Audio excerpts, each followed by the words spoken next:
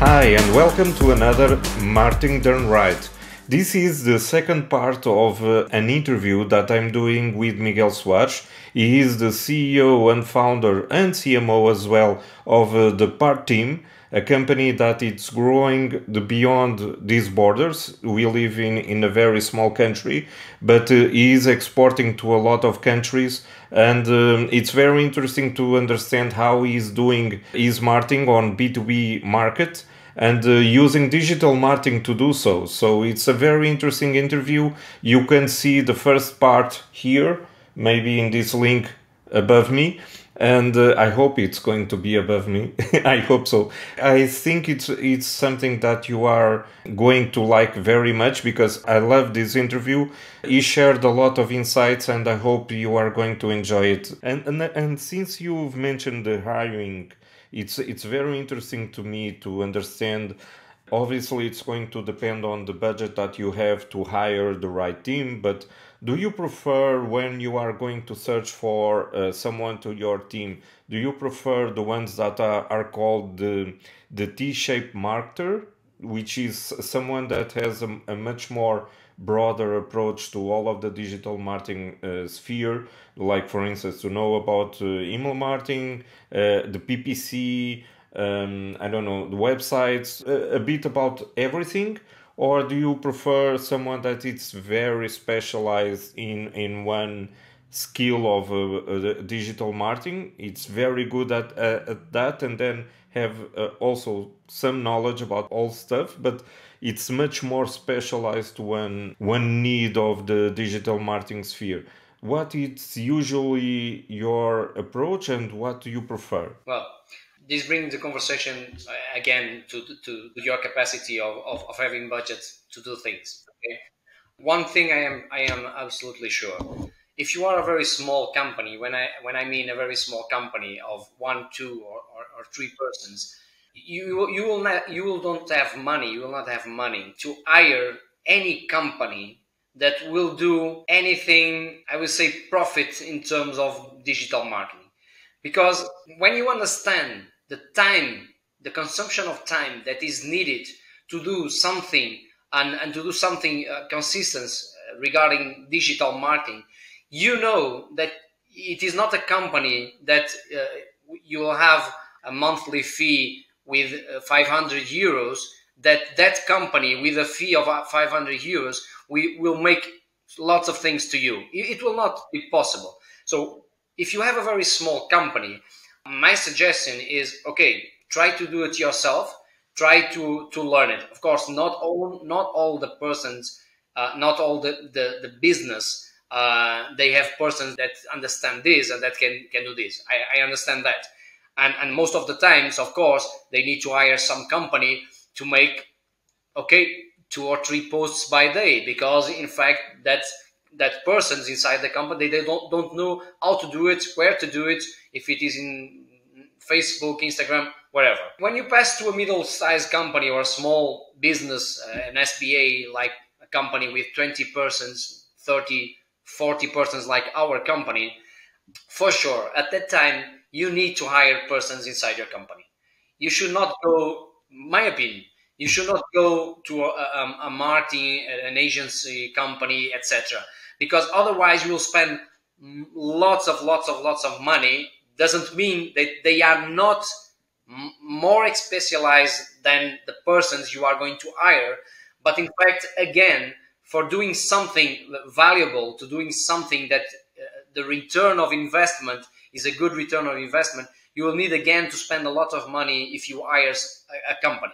So my my suggestion is when you reach a certain level, a certain number of, of employees, my opinion is this: if you have 40 employees, uh, two of these employees sh- should be related to the marketing of the of the company, two or three related to the company. You cannot have a, a company with 40 persons and no one is dealing the marketing. You put the marketing in the in the outside. And answering to your question, I believe the most important thing is inside your company you have someone could be a CMO, can be a manager, can be a key account, can be anyone. Someone that understand about marketing and digital marketing. Okay? Because if you have someone that understand, and this is one of the discussions that if marketing is the same thing of digital marketing, you know, I believe this is very simple to explain. Of course, not marketing is not the same of, of digital marketing. I put the marketing in the in the top of, of everything and, and, digital marketing is one of the branches of the marketing. There, is, there are others. You can we can talk we can talk about marketing. You can talk about digital marketing as a branch. Advertising static advertising as another branch whatever.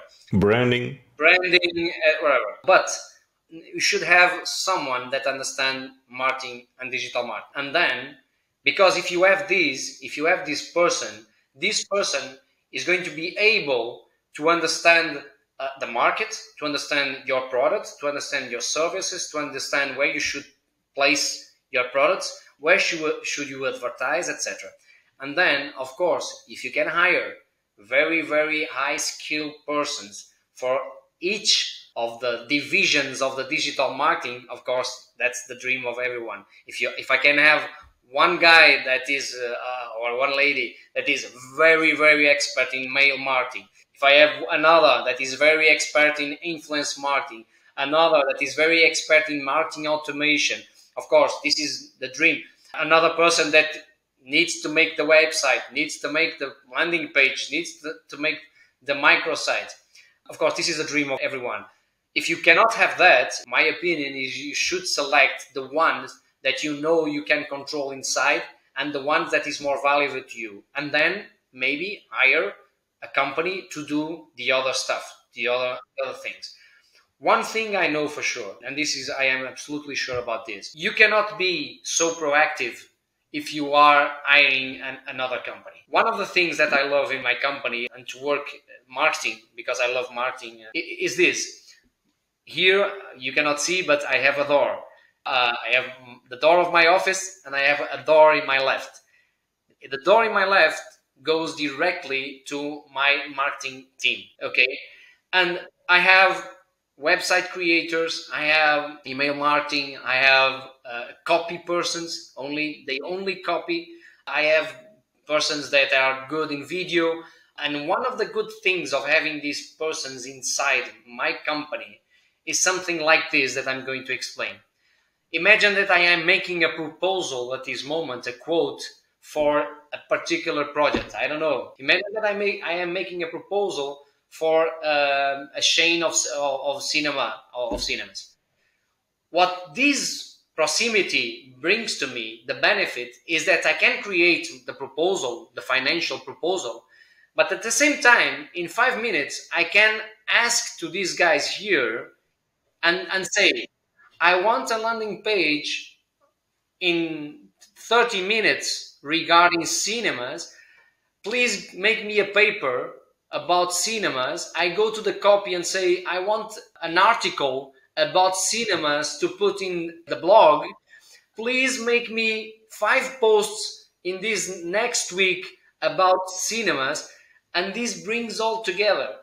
When my customer and the touch points, the customer journey and the touch points that I was talking about in the, uh, in the previous in this conversation is like this when my customer receive a quote and he is a cinema, if he goes to the internet at that time, at that particular day, he will say, wow, these guys are talking about cinema in their blog.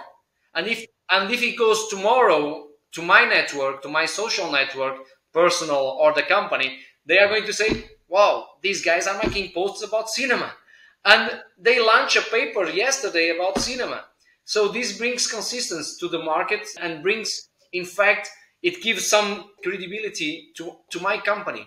And you cannot do that if you have a company that you are hiring because yeah, and and they understand what works and doesn't work within your business because they are right there with you. They are living everything about the company, and uh, I I completely agree with you. I'm I have uh, a digital marketing agency, Zopli, and one of the main challenges that we uh, we go through it's to understand deeply about uh, the business of our clients. Uh, it's something that we take a lot of time to understand, and yet it's it's almost impossible to have that deep reach that you have if you have someone working for the company the, because they are going to leave it every day and uh, we have other clients as well. So we we can't reach that kind of uh, of approach because we are not leaving the deep knowledge about the company like you have if you hire someone inside your company. So i completely agree with you on that aspect. Yeah and, they, and they become and they become also my marketing team they also become specialized in our products, in our philosophy, in our history. They know our history. They know our strengths. They know our weakness, of course.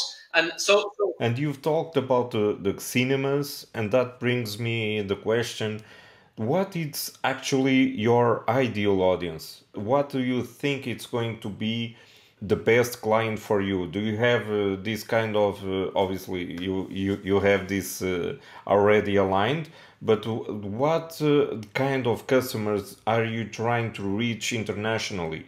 What uh, it's uh, usually your focus on the ideal audience for your brand? We have our audience very well known. We know what is our target in terms of customers and, and partners. Of course, when we make our marketing and I'm going to I'm going to say marketing, not only digital marketing, because we do have uh, other things rather than digital marketing. We need to understand that we have two types of customers. Okay, in fact, we have three types of customers. This is very important. We have partners and distributors, so we need to make marketing for these companies. They need, and now we do this marketing. They need to understand that we are a very reliable company.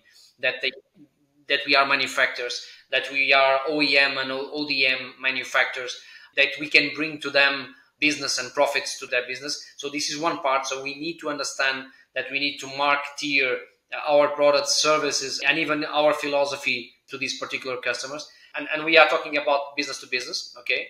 Then we have the final customers, and, and the final customers are the companies that buy our products. They are not the companies that buy to sell. It is McDonald's, it Continental, it is uh, Google, etc. So they are our final customers where our products are going to be installed and serve persons. And this is again business to business. And this is another type of marketing, another type of uh, way of doing things. But in the end, and this is very interesting, and we don't forget that, in the end, we our final customers are all the time, despite the fact that they are not the ones that buy the products from us, they are the ones that are going to use our equipments we need to make also marketing for the persons that are using our products because in the end we must understand that they are the ones that going to demand to our customers the implementation of that product. So that's another way of doing marketing. So we need to understand all of the scope of the customers our target and in fact we do this here in our company we have white papers for partners and distributors. We have white papers for our final customers. We have lots of lots of content. We create lots of content. And when we create content, we create content also to, to the consumer. I love this because we are very horizontal and vertical at the same time. We are very horizontal in terms of, of business because, in fact, we have products and we develop and produce and manufacture products for all activity sectors that you may imagine hospitality, airports, municipalities, pharmacies, hypermarkets, hotels, etc., etc. But at the same time, we are uh, a lot of vertical because in these particular sectors we are very very specialized one of the great things about working in, in our company as the, the person in the marketing it's never the same one day is not equal to the other because one day you are making things and you are making videos and content and images and, and posts to hotels. And then in the next day it's for airports. And then in the next day it is for shopping malls. So uh, we can create lots of things. And uh, one of the things that i love also in terms of, of the marketing it, it's not be so so standard and then uh, do things that exit a little bit about the, the, standardization of, of marketing. Yeah and um one of the things that I love about your approach and uh, thinking about these uh, core clients that you have that are not buying for your product but they are using it, it's they are giving also feedback. If you focus on these kind of clients and how you are going to please their needs on this uh, uh, using your products they are going to give you feedback on how they are using it right now but how uh, it can evolve eventually in the future are going to need as a product. So it's also a way for you to evolve your products based on the feedback that you have from these clients that in fact are the ones influencing the other ones that are in fact going to buy your products. So i love this approach uh, indeed. It's very smart. Yeah because as you may understand each new functionality that you can implement in our product okay? Imagine if you are going to install 100 kiosks and 100 self-service kiosks in one big chain of i don't know sport uh, retail etc and imagine that you are my comp- competitor okay? And you are going to install lots of products okay? If i can install a unique functionality in that product that the final customer will say to, to the to the customer of our product say i love this functionality. What what will happen? That fin- that customer will say okay i want this in every kiosk. So it new functionality that in fact the final consumer is demanding or is asking for that functionality. So we need to, to be all the time innovating, all the time creating new functionalities to our products, new features, because in the end they are the ones that are going to demand that that one that specifications. Yeah, and I imagine that your the customer journey is incredibly the complex. Uh, it may take a few months until you close a deal due to the product that you are selling because it's not uh, an impulse buy. They are not going to see an ad on AdWords or something like that and they are going to, oh, I'm going to buy a kiosk today. So it's not something that they are not. You need to have, I imagine that it's going to be something that it's going to take a few months until you close a deal. So, how has been your planning to stay on top of mind of those ideal customers for when they decide the, to search for that solution and then your brand comes up or they are going to find you as being every day in every day in linkedin making posts really cool no, uh, yes, um, the customer journey. Well, we, we, we, should divide these into two types of customer journey, like like this, two two journeys from the customer. The first is the one when they arrive to us, when they touch the first time our our company. Let me let me say something that I, I believe is also very interesting. All of the departments of our company they don't have the regular names of the standard names. My sales team is banned uh, because it's business awareness, etc. My uh, marketing uh, department doesn't it doesn't call marketing department. It is ZMO, zero moment of hook. Is the the moment zero where we hook, where we fish a customer. Okay, so this is the name of our of, of our department. So we have a journey. We have a journey until they arrive to us. They, they touch they touch our company for the first time, and then we we hook them. And then we have the journey after we are making the first proposal to them, the first quote. And in fact, the time for decision, the time to order is very, very long because, as you say, and, and, very well, we are not we are not talking about business to consumer. We are not talking about a thing that it costs ten euros or five euros. We we talking about a product that costs thousands of euros in the most most of the cases. And uh, of course, it's something that they they must they must uh, analyze. They must understand uh, even the customers, of course, they need to understand the return of investment to invest thousands of euros in a product, what type of, of return this product will give to, to them, because it's not only an awareness, it, must, must have benefits to, to them. And about keeping us in, in top of the mind of these customers, of course, digital marketing is very, very important. Not, not the regular follow ups, because, of course, you and I, we also receive follow ups from the persons that are quoting us. And most of the times we say, oh, it's in study, or most of the times we don't answer because we are with lots of things to do.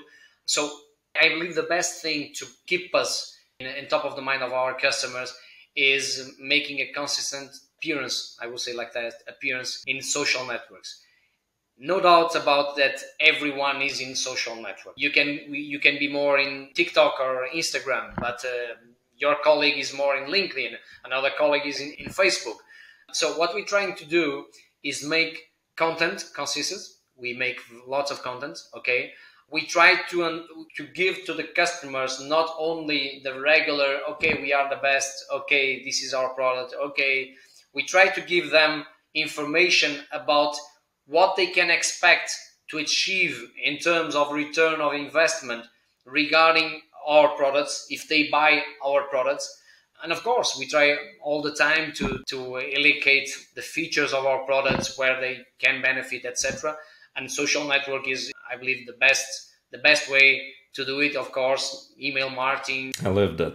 What lessons can you give to entrepreneurs like yourself that want to, bring their brand into an exponential growth as you've been able to, to do so with yours? So uh, if you would get these lessons from yourself like um, the coming back from the future or something like that. What would you prioritize or what you would not do uh, today if you know better? Acting all the time as a startup. Even if you are a company with uh, 300 employees i believe one of the greatest things about startup is the experimentation because they all the time they are experimentation. This is one of the good things. We are all the time making experiments about everything about products about service about marketing the way we do marketing and uh, uh, lots of times we, we talk about the A B test. I usually say we should talk about the ABC test. We should have an A and a C and a B, and, and then, okay, let's make these and these and these, and let's see how it goes. What I recommend to anyone that is starting the business or, or, or even is not starting a business and have, have a business, and regarding the, the digital, is going step by step, taking in mind is ABC, not doing only the A and B. Okay, let's do Facebook, let's do Instagram, and let's do LinkedIn. Okay, so take these three, and then okay, what are the results of me being making posts every day about uh, these three social networks? What is the result? And go step by step because if I do this today and if I I don't have persons again to, anal- to analyze the data, first I need to, to do this. I need, okay, let's let me make social network. Don't, don't go to make social network and a blog and another thing because in the end, I will not have time then to analyze the data and to see if my customer came from the blog or came from the, the Instagram. So one thing at a time let's do social network. Okay, let's do social network. Very good. Okay, let's let's try to understand where is the best social networks where we should making our uh, publications. Okay, after we define that, okay, then consistency. If it is resulting there, so consistency every day, every day, every day, more and more. And then if I have time, then let's go to another feature of mar digital marketing. Okay, let's do a blog. Let's see how is the results about blog. My SEO is improvement. I have some contacts that uh, came from the way that the, the blog is okay is resulting. Okay, do I have time to manage all these two things? Yes. Let's go to another one. Let's do email marketing because in the end, if you are doing and you know that because you are a, a digital marketing expert, you know that if you are going to do email marketing just for doing, just because you have a database of 2000 persons and you are going to create an email in five minutes saying, okay, let's create an email, it will not work. First, it will not work because you are not thinking about what you are writing, what you are creating. You are you don't have time to make the A/B tests, etc. Second, you don't uh, have time to understand your audience you, you will not have time to analyze the data. Okay, I send this email, I send this newsletter. What are the results? Why these five persons open and the others not? Should I have time to contact this person to know, okay, why, why you open this, this newsletter? And understand that is because something. I believe in the digital marketing, going step by step is the the best option. If you don't have time, well, you are screwed because at this moment digital marketing is very powerful. In my office, I have something that is the noob guide, and the noob guide is all the the stack, uh, what we call the digital marketing stack, and everything that you can do in digital marketing. And I, I am seeing that is a lot uh, of things that you you can do, and, and we we just talk about five six things. You have remarketing you have uh, i don't know call tracking. Yeah for sure. There's a, a world of uh, things in marketing that you you can implement so it can be overwhelming. It's uh, just a way for us to focus on what brings us more return and then to focus on that. And then we try to see where we can improve in the in the next steps that we need to, to take. Yeah but uh, awesome tip uh, the thank you miguel for this tip. I'm not going to delay you much more because i know that you are very busy. You are accumulating a lot of uh, the positions on, on your company. You are the ceo the cmo the founder. So you have a lot of things that you need to handle. So I imagine that your time is, is very short for everything.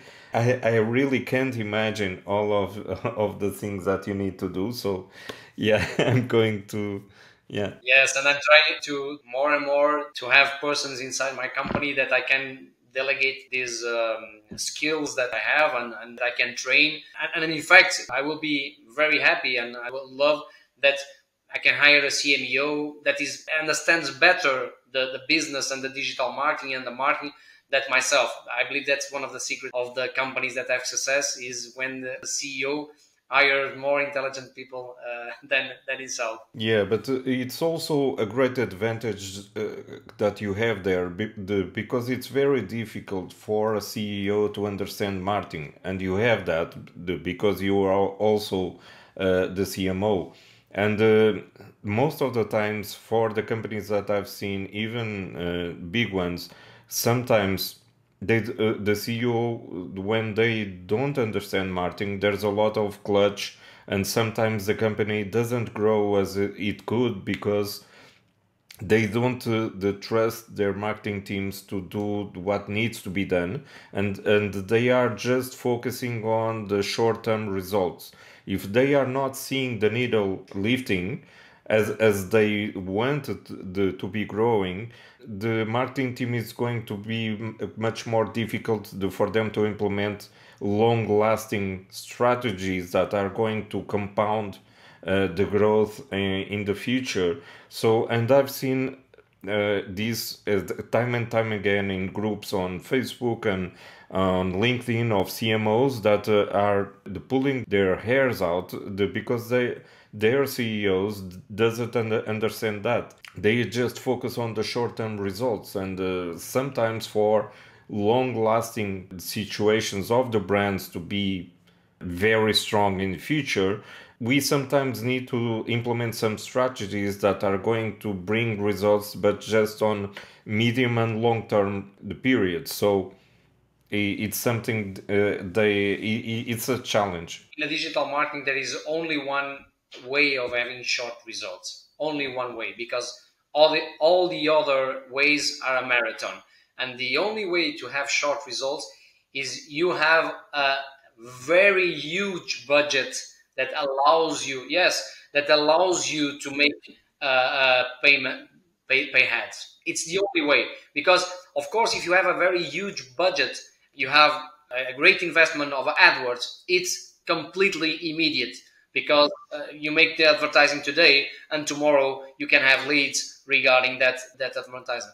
All the other ways, and everyone knows that, that everyone is familiar of, of digital marketing, all the other ways are in fact a marathon. If you want to be in the top list of search engines, you know that you need to make a very good SEO. And to have SEO, you need to have a blog. And to have a blog, you need to, to make content every day. And so this is a marathon and it's not easy. And you have the forums that you can go there and, and... yeah for sure the, can you tell us uh, how anyone can see more about you and your brand how can they follow you yeah we are in all networks we are in all social networks so first of all they can search for our company in the internet by PARTTEAM or OEMKIOSKS. We have our websites www.partteam.pt, www.oemkiosks.com. In the LinkedIn, searching for Miguel Soares. Let me say something that we don't discuss here, but I believe is very, very important. That is the personal branding. I believe one of the important things that uh, not only CEOs but uh, the C level, the C level employees of the companies should do is to create a, a personal brand. And when they are inside a company, they can create their own personal brand connected to that particular brand. It's not a mistake to do that. Okay, if I am working to PARTTEAM, I can make a personal brand during this time that I am working with PARTTEAM and linking myself to PARTTEAM because, in fact, is the company that is paying my, my wage. So creating a brand, a personal brand, is important. I believe it's known that most of the CEOs uh, in these days, the big CEOs of the big companies are doing this. Even the CEO of Microsoft, Apple, etc. We see them making podcasts. We see them making some small videos of presentation, professional videos or house-made videos, because I believe this is important.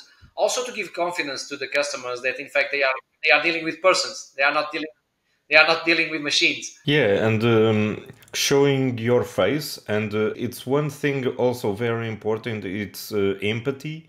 So if they empathize with you, the, for instance, on how you speak, how you express yourself, how you show yourself to the audience, they are going to be much more interested eventually on doing business with you, but instead of someone else or other brand that they don't know who's behind that brand. And, and, and let me say something that I believe is, is, is important. I don't truly believe of the, the distance that is between you as employee and you as a, I will say human, as a person, where you are a very good liar, or your acts, your thoughts, your posts, your personal uh, posts, more or less talk about yourself and I believe if they are talking about yourself and if you are the CEO of the company, they talk about a little about your company, about the profile about your company. If you are confident, your company probably is confident. If you if you have care about some things like sustainability, about uh, smart cities, about green, about the, the green world, etc., maybe your company also follow your steps. So if you have empathy, maybe your company, your employees maybe they, they are like this. So I believe also bringing this personal uh, philosophy and my thoughts as a person, as an individual, to the social network, I believe it's important also to give to the customers the, the confidence they need. Yeah, for sure. Um, this was an amazing interview for sure, Miguel. The, thank you so much for sharing your wisdom with me and uh, our audience. I hope uh, we can catch up in the future soon. So it was an incredible chat with you, a lot of insights that you've shared with us. So it was a complete pleasure from my end as well. Uh, so thank you so much. Thank you. Thank you very much. As for you, thank you so much for watching this video.